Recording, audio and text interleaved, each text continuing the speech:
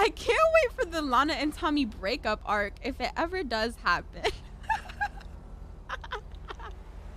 what the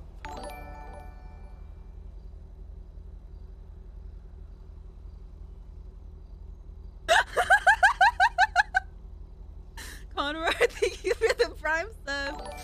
Second sub, thank you for the five gifted subs. Thank you. okay.